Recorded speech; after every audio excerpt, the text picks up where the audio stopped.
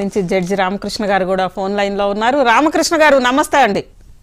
నమస్కారం మేడం రామకృష్ణ గారు ఏంటి ఈ రోజు సుప్రీంకోర్టులో వచ్చిన డెవలప్మెంట్? చూశారు కదా ముఖ్యంగా తెలంగాణ హైకోర్టు ఇచ్చిన మధ్యంతర బెయిల్ని సుప్రీంకోర్టు మధ్యంతర బెయిల్ మీద స్టే విధిస్తూ ఈ రోజు ఆదేశాలు జారీ చేసింది. మరోవైపు సోమవారం నాడు ఇంకో విచిత్రమైన పరిణామం కూడా. ఎందుకంటే ఎప్పటికంటే ముందుగా ఒక గంట ముందుగానే సోమవారం నాడు స్వయంగా సీజే బెంచ్ కొలువు తీరి మరీ దీన్ని విచారిస్తుంది అని చెప్పి చెప్తున్నారు. ఏంటి అసలు అంటే ఇక మొత్తం మీద ఈ పరిణామాలను మనం ఎలా తీసుకోవచ్చు. మేడం ఈ రోజు సుప్రీం కోర్టు కామెంట్స్ కానీ మనము అబ్జర్వ్ చేసినట్లయితే అసలు చాలా భారత సమాజానికి ఇది ఒక ఒక మంచి సంకేతముగా అనిపిస్తుంది మేడం. ఎందుకంటే స్వయంగా chief justice bench high court order అట్రాసి atrocities and unacceptable అన్న పదము వాడడము అసలు హైకోర్టు ఎంతగా తన ఆర్డర్ ఇవ్వడంలో పొరపాటు చేసిందో మనం ఇక్కడ గమనించవలసినటువంటి అవసరం ఉంది. స్ట్రైట్గా సుప్రీం కోర్టు వాళ్ళు కామెంట్ చేసేసారు. హైకోర్టు ఆర్డర్ అన్నది చాలా atrocity atrocious and unacceptable unacceptable అనే పదమే కాకుండా అట్రాసిటీస్ అన్నది అట్రాసిటీస్ అంటే ఇంకా చాలా పెద్ద మీనింగ్ ఉంటుంది మన తెలుగులో గాని మనం అటు అంటే అంత ఆ లెవెల్కు సుప్రీం కోర్టు వాళ్ళు వెళ్ళారంటే వైఎస్ అవినాష్ రెడ్డి యొక్క బెయిల్ పిటిషన్ గాని ఆర్డర్స్ గాని ఎంత అంటే సహజ న్యాయ సూత్రాలకు ఎంత వ్యతిరేకంగా ఉన్నాయో ఎంత ఈ కేసులో ఎంత ఇంపార్టెన్స్ ఉందో అవినాష్ రెడ్డి అరెస్ట్ చేయడము ఎంత ఇంపార్టెన్స్ చెప్పకనే చెప్పేసింది సుప్రీం కోర్టు ఉమ్, ఈ రోజు తేలిపోయిండేది. కాకపోతే తెలివిగా ఆ, మన అవినాష్ రెడ్డి లాయర్ గారు నా దగ్గర పేపర్ బుక్ లేదు మాకేమి మా దగ్గర సమాచారం లేదు ఆమె ఏం రాసిందో మేము చదవలేదు మేము అవన్నీ చూడాలి అంటూ ఒక టైం గెయిన్ అయితే చేశాడు. అయినప్పటికీ కూడా సుప్రీం కోర్టు కూడా సోమవారం రోజు ప్రత్యేకంగా ఈ యొక్క కేసు కోసమే ఒక గంట కేటాయించడం సోమవారం అర్లీ మార్నింగ్ డిస్పోజ్ చేయాలని నిర్ణయం తీసుకోవడం ఇవన్నీ కూడా ఖచ్చితంగా ఆ సోమవారం రోజు సాయంత్రం లోపల అవినాష్ రెడ్డి గారి యొక్క అరెస్ట్ అన్నది తప్పదన్నట్లుగా మనం భావించవలసిందే. నేను మొదటి నుంచి అదే చెప్తున్నాను. అవినాష్ రెడ్డిని అరెస్ట్ చేస్తేనే ఈ కేసులో ఉన్నటువంటి ఒక సూత్రధారులు ఎవరున్నారో వాళ్ళందరూ బయట వచ్చే అవకాశం ఉంది రెండోది వచ్చిందను అవినాష్ రెడ్డి మెయిన్గా ఈ యొక్క మనీ లాండరింగ్లో ఇన్వాల్వ్ అయి ఉన్నాడు ఏదైతే నాలుగు కోట్ల రూపాయలు ఈ ఆల్రెడీ డిస్ట్రిబ్యూట్ అయ్యింది ఈ యొక్క మటర్లో అనేది తెలిసి తేలిపోయింది కాబట్టి. అందులో కోటి రూపాయలు దస్తగిరి దగ్గర ఒక కోటి రూపాయలు గజ్జల దగ్గర. సునీల్ యాదవ్ దగ్గర. అంటే వీళ్ళు నాలుగు కోట్ల రూపాయలు ఎక్కడెక్కడ ఖర్చు పెట్టారు ఎందుకు ఖర్చు పెట్టారు ఆ డబ్బులు ఎవరు ఇచ్చారనేది ఇప్పుడు బయటపడాలి. అది ఒక మన అవినాష్ రెడ్డి ద్వారానే అది రావాల్సినటువంటి అవకాశం ఉంది. అందువలనే సిబిఐ వాళ్ళు మేము అవసరమైతే అవినాష్ రెడ్డి గారిని అరెస్ట్ చేస్తామంటూ చెప్పడంలో కూడా ఇందులో దాగున్నటువంటి పరమార్థం అదే. సిబిఐ వాళ్ళు ఖచ్చితంగా చెప్పారు హైకోర్టు కూడా. ఇక్కడ నలభై కోట్ల రూపాయల డీల్ జరిగింది. ఆ నలభై కోట్ల రూపాయల్లో నాలుగు కోట్ల రూపాయలు ఆల్రెడీ చేతులు మారాయి. మరి ఈ నలభై కోట్ల రూపాయల పెట్టుబడి ఎవరు పెడుతున్నారు? ఈ నలభై కోట్ల రూపాయలు పెట్టుబడి పెట్టేటువంటి స్తోమత ఆర్థిక స్తోమత ఎవరికి ఉంది? అన్నది ఇక్కడ మెయిన్ క్వశ్చన్ ఒకటి చెప్పుకుంటే వైఎస్ అవినాష్ రెడ్డి గారికి నలభై కోట్లు ఖర్చు పెట్టేటువంటి ఆర్థిక స్తోమత లేదన్నది అతను వేసినటువంటి ఎలక్షన్ అఫిడవిట్లోనే తేలిపోయింది అవినాష్ రెడ్డి గారి దగ్గర పదకొండు కోట్ల రూపాయల ఆదాయం తప్ప అంతకు మించి ఆదాయం లేదు. అటువంటిప్పుడు నలభై కోట్ల రూపాయలు ఎందుకు ఖర్చు పెడతాడు ఆయన? అంటే ఈ నలభై కోట్ల రూపాయలు ఎవరో ఇంకో వ్యక్తి స్పాన్సర్ చేసి ఉన్నాడు. ఆ వ్యక్తి ఎవరు ఇప్పుడు తెలియాలి. ఒకటి మనం గమనించినట్లయితే ఈ రోజు మన సిబిఐ వాళ్ళు విచారించినట్టు వాళ్ళల్లో జగన్మోహన్ రెడ్డి ఓఎస్డి కృష్ణమోహన్ రెడ్డి గారు ఉన్నారు. అదే విధంగా భారతీయ గారి పిఏ నవీన్ ఉన్నాడు. మరి వాళ్ళిద్దరి స్టేట్మెంట్ సిబిఐ వాళ్ళు ఎందుకు రికార్డ్ చేశారో దాని యొక్క పరమార్థం ఏంటో ఇక్కడ బయటపడాల్సిన అవసరం ఉంది.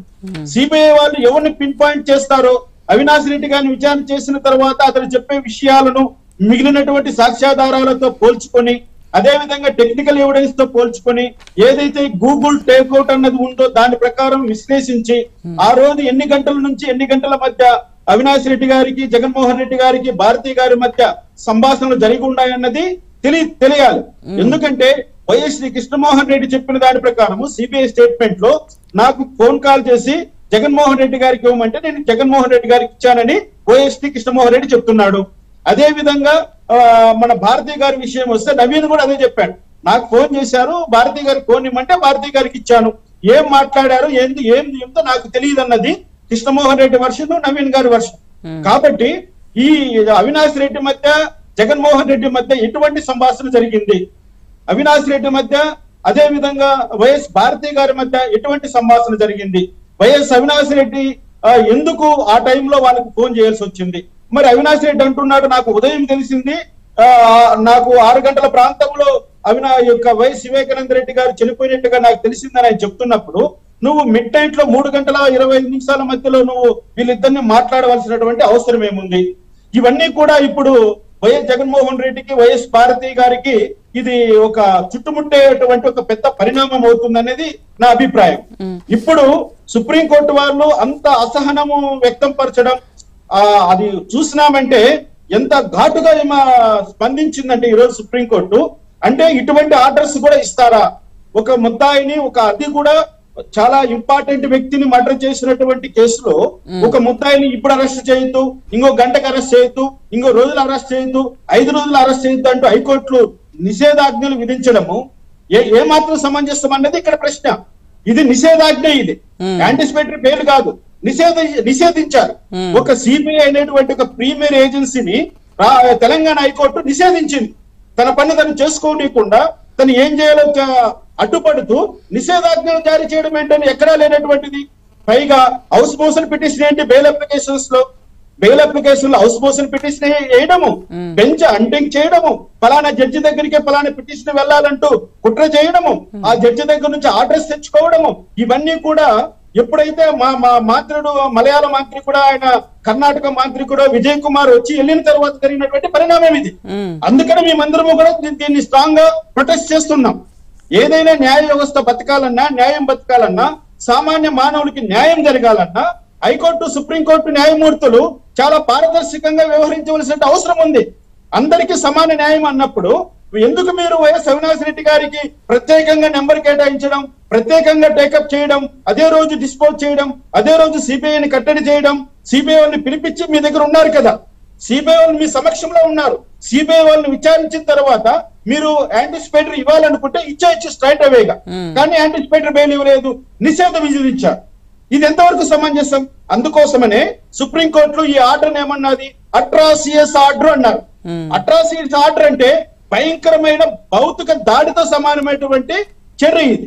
కాబట్టి అన్యాక్సెప్టబుల్ కాబట్టి we stay the entire order of the high court అన్నారు. కాబట్టి రాష్ట్ర తెలంగాణ రాష్ట్ర హైకోర్టు ఇచ్చినటువంటి ఆ ఏదైతే అవినాష్ రెడ్డి సంబంధించిన యాంటిసిపేటరీ బెయిల్ తీర్పులో తీర్పు ఉందో అది కంప్లీట్గా స్టే అయిపోయింది.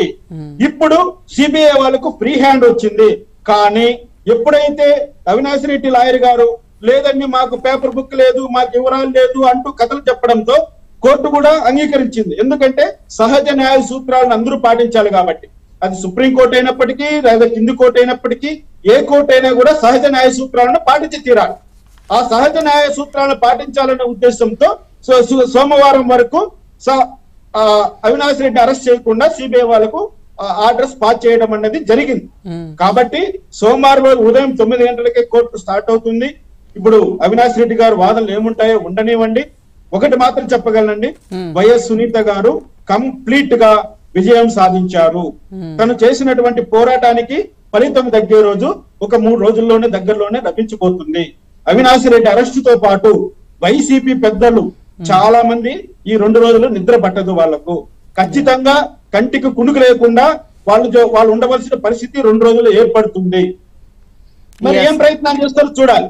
ఎందుకంటే మనం అనుకున్న అనుకుంటున్నాం కానీ సాయంత్రం లోపల పరిణామాలన్నీ అటు ఇటు మారుతున్నాయి మేడం అయినప్పటికీ న్యాయం గెలుస్తుంది అన్నది ఒక నమ్మకం ఒక ప్రతి సామాన్యుడికి ప్రతి పౌరుడికి భారతదేశంలో ఉన్న ప్రతి ఒక్కరికి కూడా సుప్రీంకోర్టు న్యాయం చేస్తుంది రాష్ట్ర హైకోర్టు న్యాయం చేస్తుంది న్యాయస్థానాలు మాకు న్యాయం చేస్తా అన్నటువంటి నమ్మకం ఏదైతే ఉందో ఆ నమ్మకం సజీవంగా ఉండాలి. నమ్మకాన్ని అందరూ పెంచుకోవాలి. కోర్టుల పట్ల గౌరవం పెంచుకోవాలి.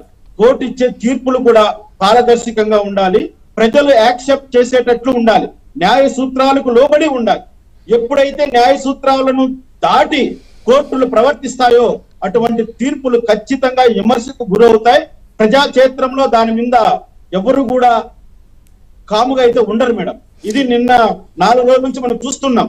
ఎప్పుడైతే తెలంగాణ హైకోర్టు ఇచ్చి ఉందో ఆ యొక్క తీర్పును మన సోషల్ మీడియా ప్లాట్ఫామ్ అయితేనేమి ప్రజల్లో అయితేనేమి కొంచెము అలజడి వచ్చిన మాట వాస్తవమే.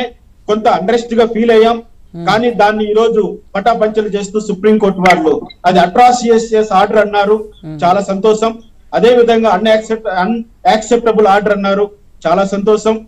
ఈ రోజు సునీతమ్మ గారికి న్యాయం జరిగితే తెలుగు ప్రజలకు అందరికీ న్యాయం జరిగినట్లే. న్యాయం కోసం పరి- పరితపించే ప్రతి వ్యక్తి కూడా ఈ రోజు సంతోషించదగ్గ రోజు అని నేను భావిస్తున్నాను రైట్. మొత్తం మీద అంటే రామకృష్ణ గారు ఒకవేళ ఇదే జరిగితే రేపు ఏమన్నా జరిగే శాంతి భద్రతల పరిస్థితి ఏంటంటారు? శాంతి భద్రతలో సమస్య సృష్టించడానికి రాష్ట్ర ప్రభుత్వం ఒక కుట్ర చేస్తుందని రెండు మూడు రోజులుగా ఆ సంకేతాలు కనపడుతూ ఉన్నాయి. ముఖ్యంగా కడప కడప జిల్లాలో అదే విధంగా అమరావతి ప్రాంతంలో విశాఖపట్నంలో శాంతి భద్రతలకు కొంచెము భంగం కలిగించే విధంగా చర్యలు ఉండవు ఉండవచ్చు. ఎందుకంటే అవినాష్ రెడ్డిని అరెస్ట్ చేసిన తర్వాత కొన్ని శాంతి భద్రతల సమస్యలు ఉత్పన్నమయ్యడానికి అవకాశం ఉంది కాబట్టి కానీ ఆంధ్ర పోలీసులు సమర్థులు కాబట్టి వాళ్ళు అన్ని రకాలుగా ఎటువంటి సమస్యనైనా ఎదుర్కొనేటువంటి స్థైర్యం ఉంది. అంత ఫోర్స్ మన దగ్గర ఉంది కాబట్టి అక్కడ అక్కడ చిన్న చిన్న అల్లర్లు జరిగినా కూడా దాన్ని కంట్రోల్ చేస్తారని ఇతరాత్రుల ప్రాపర్టీకి నష్టం జరగకుండా ముఖ్యంగా మేడం నేను ఒకటి రిక్వెస్ట్ చేస్తున్నా. ప్రభుత్వ ఆస్తులు కానీ ప్రైవేట్ ఆస్తులు కానీ నష్టం జరగకుండా చూసుకోవాల్సిన బాధ్యత పోలీసుల పైన ఉంటుందని పోలీసులు కూడా ఆ దిశగా ఆలోచన చేయాలని ఈ యొక్క ఏవైతే రౌడీ మూకలు ఉంటాయో ఎవరైతే రెచ్చిపోయేటువంటి వ్యక్తులు ఉంటారో అటువంటి వాళ్ళని ముందస్తు అరెస్ట్ చేసి శాంతి భద్రతలకు ఎటువంటి విఘాతం కలగకుండా చర్యలు తీసుకోవాలని నేనైతే విజ్ఞప్తి చేస్తున్నా madam. Right thank you Ramakrishna గారు ఇక బుచ్చయ్య చౌదరి గారు జాయిన్ అయ్యారు మనతో. బుచ్చయ్య చౌదరి గారు నమస్తే అండి.